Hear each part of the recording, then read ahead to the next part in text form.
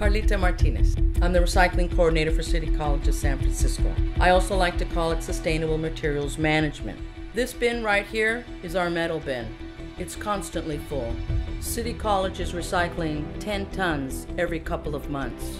Here at City College, we still have about 2 tons per day going to landfill from our activities district wide. I've been working here for 22 years and recycling for City College is a challenge. It's really great if you start composting and recycling at an early age. It's not so great if you don't carry it on at home, at work, and everywhere.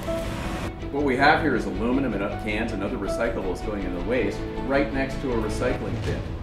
Recycling and composting can help reduce some of the impacts of humanity on the environment. People are very concerned about the problems that are happening on our planet and don't feel like there is anything tangible that they can get involved in to help to relieve some of the stresses on the earth.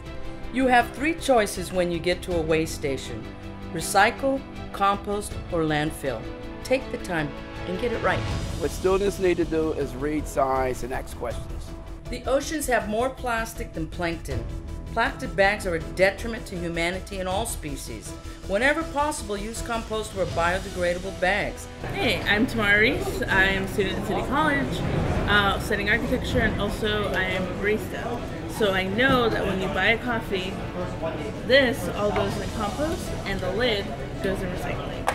It's really easy to recycle at City College because there's three bins all side by side.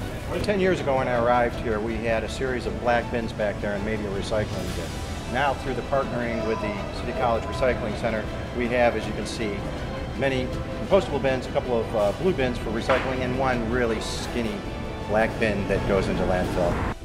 What you purchase, what you use, and where it ends up is something that can have an impact on our environment, a good impact.